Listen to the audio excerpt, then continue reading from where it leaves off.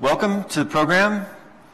Uh, we want to start off uh, by kind of recapping the origins and the goals of this conference. And uh, so let me just say to start, um, what really concerned us was the fact that people without medical training were telling us how to practice medicine. And so this conference doesn't have a political agenda, it's a professional agenda. And that is that you know, people who train seven or more years to do this job, that there's a reason for that, and that uh, their voice should be heard in, in how that profession is conducted. So we invite all physicians, and uh, there are many other experts that have joined us uh, from other associated fields, and we really appreciate their input as well. Uh, but we want to hear what physicians think about the practice of medicine. And uh, we don't limit in any way uh, what they are saying. Uh, their political, whatever political bent they bring is fine. Uh, but we want everyone to know that the, the summit itself is a neutral platform in that regard. So we just hope a lot of great ideas will be presented, and we know they will. They already have been. And uh, we've got a great lineup today, and um, may the best ideas uh, win for the good of all. Panel, do you have anything to add at this point? Yeah, I'd, I'd like to share some thoughts. I think, first of all, it's been a fabulous four days. I think there's something um, really worthwhile in getting together with physician colleagues outside maybe of structured medical conference, but just to do this, to, it creates some bonding. And I think the medical profession needs some bonding. But beyond the specific ideas we've heard in the last four to five days, I try to kind of take the you know, bird's eye view, the wide angle view. Are there some common themes? Are there some core things that are resonating with physicians across the country? And so I took the liberty to jot down what I, struck me, and you might have some of your own, but these are just mine and I'd like to share them if that's okay. Um, one, we're all here because I think of prime importance is the sanctity of the doctor-patient relationship, and that should never be violated. And for those of you outside medicine, you know, as physicians, let me just tell you, we take that to heart, and um, that is of prime importance to us. And realize some of your actions on a national level whether they be mandates or legislative actions, are interfering with that relationship we hold most dear. Number two, as physicians and as a medical profession, we need to move from complaining to action at every level in our practices, at our hospitals, in our communities, and at the national level. Number three, don't let others define you. Restore the joy to your practice of medicine. And number four, I would say, there's strength in unity, and we need to be united in our ideas and speak with one voice as physicians and for our entire medical profession. So those are just some of the kind of broad things that hit me this week. Um, so, okay, thank yeah. you, Dan. Sure. Judy? Well, I'm like Dan. Um, I, I, think I try to look at things from a bird's eye view. Personally, I'm fascinated with human behavior. And um, what we're a part of here is a revolution. I think we're all aware of that. And there's been this overarching question, both statement and question, and that is um, one, we all know this, that if we would bind together and speak in a unified voice, we could address and probably even rectify many of the problems that we're talking about uh, pretty quickly. Uh, but there's something that uh, keeps us from doing that.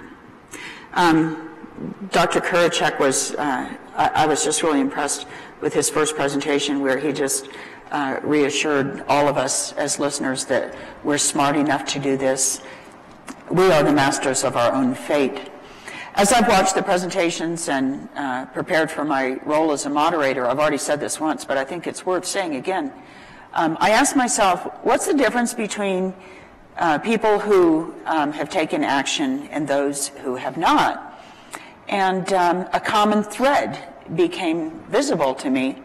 And that thread was that um, the people who have taken action were just in the process of doing what we do on a day to day basis when a question entered their mind. And I think that, that the question that entered their mind is a question that enters all of our minds as practicing physicians, and that is, what am I doing? And I'm talking right now about the extra busy work that we do, the bureaucratic work that Dr. Eck uh, talked about. Um, many, many of us let that question just pass right through our mind and we remain diligent and stay on the grist mill and we keep working. But for the people who've taken action, it appeared to me that they let that question stop in their mind. And, and then they began to ask, answer, generate an answer for the question. And then, very impressively to me, uh, Dr. Teerstein, Beth Haynes, other individuals began to gather evidence, Rocky Bilhartz, um, to validate the answer to their question. And by gathering that evidence, Dr. Teerstein went so far, and Beth also talked about this yesterday, to consider the validity of the evidence. I, I was just very, very impressed by that. But in, in, as they gathered that knowledge, they developed a fund of knowledge. They became empowered with that knowledge. And it was my perception by watching that that knowledge led to action. And, and uh, as I listened to these speakers, I'm struck, and this thought crosses my mind that these people appear to me to be masters of their knowledge. Take them to the table, debate them. You're going to learn something. Not to say one's right or wrong, but you are going to learn something by engaging with these individuals. So I think it's been a really um, special and unique opportunity for all of us to come together this week. If you haven't watched the earlier presentations, I would encourage you to do so because these are people who have spent a lot of time. They've done a lot of work. They put their heart, soul, professional skill into collecting this knowledge, determining the validity of, of the knowledge, putting it into a presentation, and then getting it here to us. That was a lot of work. And that knowledge is going to empower all of us hopefully begin to tie us together. You know, we came together as this size group. I hope that we leave as a little bit of a larger group. I think that we will. And then one, of the, one, one last thing. What I wanted when we discussed this early on um, uh, to come from this summit is I wanted physicians to have a seat at the table whether it's maintenance of certification, electronic health records, whatever the case may be. We must at least be at the table. Our mere presence will change how other human beings, especially non-physicians, think. And if we have the courage to speak up, we'll be educating them, and it will absolutely change what they do. And when that changes, our lives begin to change, and we begin to return ourselves to the center of medicine rather than the periphery of medicine, and we become the masters of our own fate.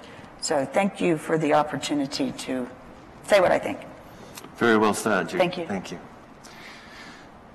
Uh, I want to say uh, thanks to all our terrific speakers and participants. Uh, we've got representatives of many major medical organizations here, and we thank you so much for coming and participating and bringing your organization's uh, messages to this table. Um,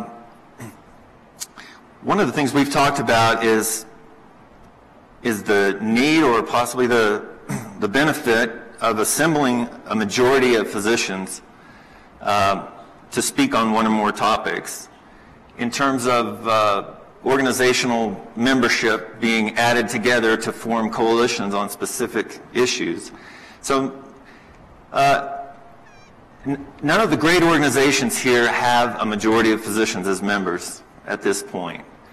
And so I think that says that we need to collaborate on certain issues if we're going to, going to really be effective. And we hope that we can find one or more issues such as EHR meaningful use problems, such as uh, uh, ICD-10 issues that we can agree on and get some definitive action in the near future on. And even if we can just do that on one topic, get some real relief for physicians on one topic and give them some breathing room to focus on taking care of their patients instead of complying with mandates, I think that will be a real victory and hopefully a model for us to achieve action on other issues. So for instance, we have an EHR resolution and uh, you can click from either the live web stream page or our, website to look at those, sign them if you like. Some of them are on wikidoc.org if you want to edit them and, and hopefully improve them. And we invite you to submit your own. Uh, but the AMA held a national town hall event by webcast on Monday calling for a moratorium on stage three implementation of meaningful use. And we uh, applaud and support that effort. The National Nurses United, the largest nurses union, has called for a similar moratorium, and we call for that. So, uh, again, there's just one example. Um, ICD-10, I believe, is another issue the AMA is, is calling for a delay in further uh, examination by practicing physicians. And again, we support that and, and hope we can uh, assemble the kind of numbers that are needed to have some definitive action take place uh, sooner rather than later. Um, we have uh, breakout rooms in the area. I want to let uh, speakers and anyone here know about those. Uh, if we have an interesting conversation going on, uh, maybe in the Q&A after a, a, a, presentation, and we've got to move on to our next speaker, if you want to continue that conversation, get with our team in the back, and they will uh, get you to one of those rooms where you can have that conversation. You can uh, film and record it if you like. Uh, maybe you can come up with a new resolution or, or something else that will will add to the conference. Um, and while I'm talking about the team back there, I just want to let you know what a fabulous production team we have, led by Andrea Berry of Ann Agency, and we just want to thank them for just a tremendous job. Um,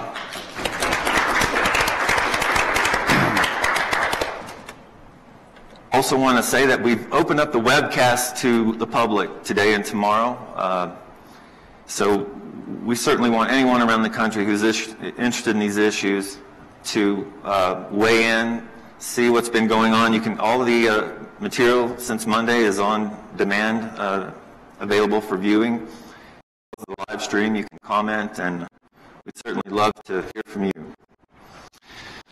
Uh, panel, anything else? Um, yeah.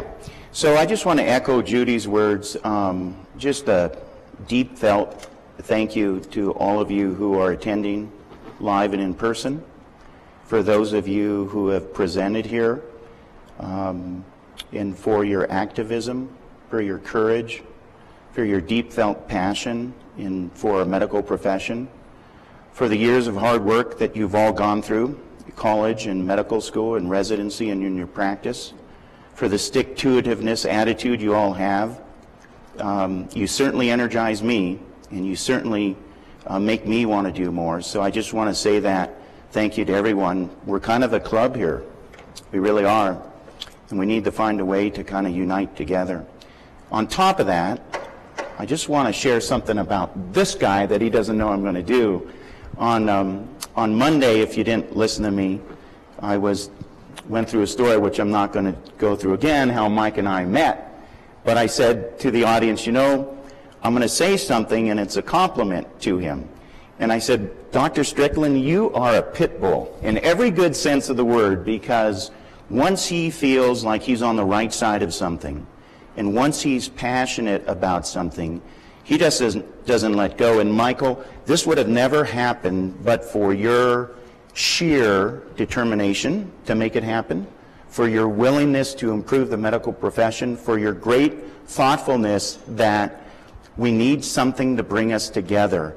And uh, this was a guy who flew his plane all over the country to go person to person to invite him to this. And I just want, in a public way, everyone to know that. So I so appreciate you, and I appreciate everything you've done here. This wouldn't have happened but, it, but for Dr. Strickland's um, efforts and energy. So thank you. Thank you, yeah. Dan. Yeah. Thank you, everyone. Um, okay, well, I want to again ask doctors around the country to uh, please web in and participate. You know, we all talk to doctors all the time, our colleagues, and we all hear the same problems, concerns, and uh, just want to tell you, all you have to do is speak up about it.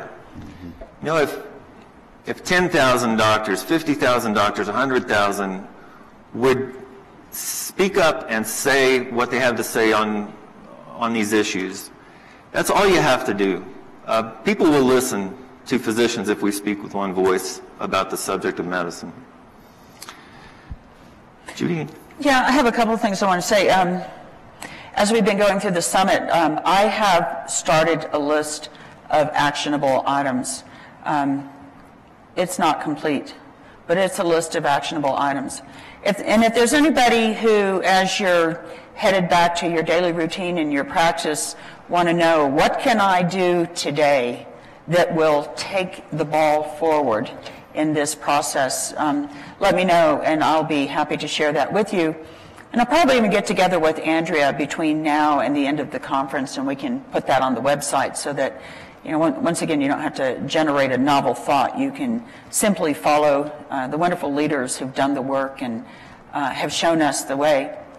The other thing I want to do is um, uh, introduce Dr. Lisa Chu, who I think almost everybody here has met, uh, but for the web audience. Uh, Lisa is a very interesting person, and um, she is a Harvard graduate. She is a graduate of a very well-respected medical school. And once she completed medical school, she realized um, that it was uh, not the right place for her to be, and she's uh, grown into a successful entrepreneur. And uh, part of that um, entrepreneurship it has grown into uh, counseling physicians who are faced with disappointment, in any one of a number of ways. So she and I met online, and um, I um, ultimately uh, asked the steering committee if she could come. And from my point of view, she's here for a very specific reason. Uh, those of us who are here, you know, we're learning from each other, you know, about the history and the facts of where we are and so on and so forth. But I believe that if we're going to move into a new place, um, we need to open our minds and begin to see things in a new way. And that can be very challenging, especially when you're tired, disappointed, stressed, overworked, underslept, whatever the case may be. Personally, I find it really challenging under those circumstances to open my mind and see things a new way. So part of Lisa's role here is to help identify when we, using our own thoughts and words, are painting ourselves into our traditional box that maybe has led us to where we are. And maybe to help us begin to see a new way of perceiving things, thinking things, and saying things so that we'll step out of this conference and take a whole new idea with us. The other thing that's very exciting for me and Lisa and hopefully the rest of you is that we're all getting together. I think maybe correct me if I'm wrong, this is the first time in history that this group of people comes together and sits together and has a meal and shares their story with each other. And as we uh, talk with each other and share our stories, our, our, our, brains are touched and we grow and we get new ideas. And this is this let my doctor practice movement. Call it what you want, but the, but the healthcare revolution gaining some momentum and moving forward. So as Lisa migrates around us and listens to us and offers her interjection, uh, I would um, ask you, especially if you're a very conventional and traditional person, uh, please take no offense. Her role here is to help um, open our minds and see things in a new way so that um, once again, we can move ourselves from the periphery into the center of medicine. Thank you very much, Lisa. She's done a tremendous amount of work. All of this freehand as we've been working. She's kept up with our thoughts. She's helped helped us when, when we get stuck in these little um, sessions. Uh, Lisa, what do I say now? And she'll throw something in the pond and keep us going. So really appreciate what you've brought to yeah, the. Thank you. Thank Yeah. you, Lisa. Thank you. Okay, um, wanted to let everyone know there's a list of participating organizations on our website, letmydoctorpractice.org. Invite you to look at those and uh, and uh, go to their websites and learn something about what they're doing, and uh, many of their representatives are, and leaders are here. Um, wanted to ask uh, the viewers to consider uh, donating and supporting this effort financially. Uh, as you know, takes a you know tremendous amount of money and time and effort to do this, and uh, we certainly need your support. Um, wanted to say also, I'd ask doctors on the webcast around the country to speak up and uh, and uh, add your voice. And I want to ask those who are here in person. Uh, the, the live event really wasn't scheduled to kick off till this afternoon, but we greatly appreciate those of you who have come in early, and we're, we're so glad to have you here. Uh, you can follow the webcast from your device wherever you are. The uh, Wi-Fi password here is UPSA 2015. Um, or uh, we're going to have a microphone. Now, that may not be scheduled till uh, tomorrow. We're going to ask everyone here in person Yeah. who wants to to come up to that microphone and, and say what they have to say. And uh, maybe we could even set it up earlier today. Um, but if not, do you have a comment, question, anything? Feel free to raise your hand, just shout it out. And that was, just to clarify, tomorrow, Saturday is when we're going to do the open mic, correct, Andrea? So today we could do that too? Okay, so just to clarify that. Is that mic up right now, Andrea? Right, so just raise your hand if you have something you want to say. We'd love to hear from you. Yeah, we would love to hear from you. Anybody want to help us kick the morning off? And while you're thinking about it, I just wanted to um, pick up on that, um, what you were talking about, Judy, that um, there's many of my physician colleagues, and I want to word, word this, and without being too harsh, but um, my own experience is, is I realized in a moment that I need to go from a complaining doctor to one of action. And that is hard to um, put in the words what caused that. But I just realized that, you know, if you're unhappy and you're complaining about things, you know, I just, I'm telling you, I'm a surgeon and I hear it at the scrub sink and you'll hear in my talk tomorrow, but I'm just kind of tired of the complaining and not people doing anything about it. And so, whatever that is, that, that's what medicine needs, in my humble opinion, to go from complaining to the next step. And to do that, to go from complaining to the next step, whatever that looks like for you, and it's going to look different for all of us. You might be the person who just takes some action in your own practice or at your hospital, but whatever that is, that next step has to occur for us to achieve the goals that we want. And I really feel strongly about that. That, that is a critical next step. And sadly, again, my own humble opinion, if the medical profession cannot do that, then I really worry about the viability and the longevity of having a voice in healthcare. Um, so some of you may disagree with that. I feel that passionately and from the heart, so I wanted to share that. You know, several people here have pointed out to me, um, a lot of times we like to complain that someone else is doing something to us, and I've certainly been there many, many times. Uh, the insurance company, the EHR, the government is doing this to us. And, you know, they point out that we're allowing this to be done to us. Uh, so we have to take uh, responsibility for that. And uh, if I got it right, I heard, and Dan, correct me if I'm wrong, the, the kind of three steps in this issue. If you have a change or pressure that's being exerted on you and you uh,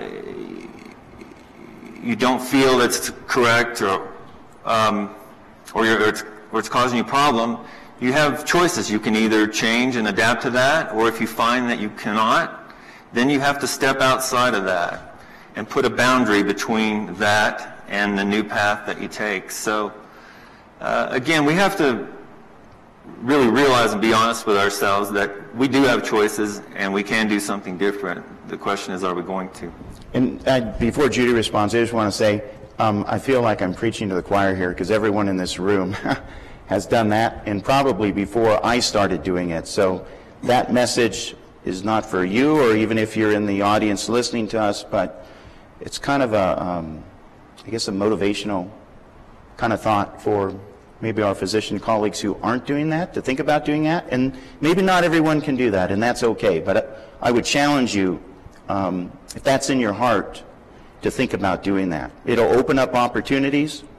Um, it'll expand your mind. You'll meet new people, relationships that you wouldn't have before. And all that is good, right? We can all be stretched. I can do things different. I think sometimes we need to take a step back out of where we are in our own role, lose your identity for a moment, and look at the big picture. So, yeah.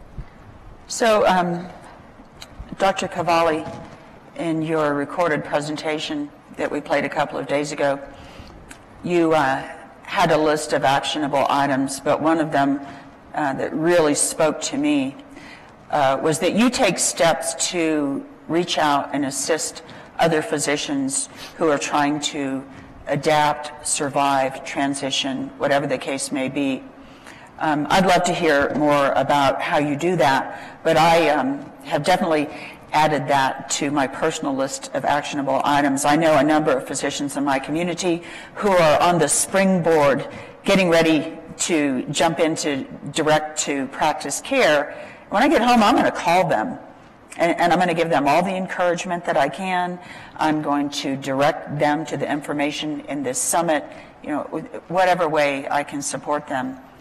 Um, in our last minute and 30 seconds, I cannot take enough time to thank the silent soldiers in our lives, uh, our family members, and our friends who have graciously allowed us, if you will, to spend less time with them. They've supported us, they've listened to us, they've fed us, they've lived with less money because we put it somewhere else. Um, and you guys know that. Your, your friends and family members have done the same. And um, without those people, once again, uh, this would not be happening. So, to those of you whose shoulders we stand on, um, I thank you heartfelt. Absolutely, thank you. Uh, now we'll turn it back over to Dr. Wax. And Dr. Wax, thank you so much. Thank you, Dr. Thank you, Craig. Panel. You've done a- Yeah. an excellent job, and uh, we do we do appreciate uh, uh, your support, the support of other physicians, and the silent soldiers, as you mentioned, our families who are at home holding down the fort, children, and uh, doing with less so that we can apply ourselves to educating physicians and the community at large to try to change the practice of medicine toward, toward the more ideal. We definitely appreciate that.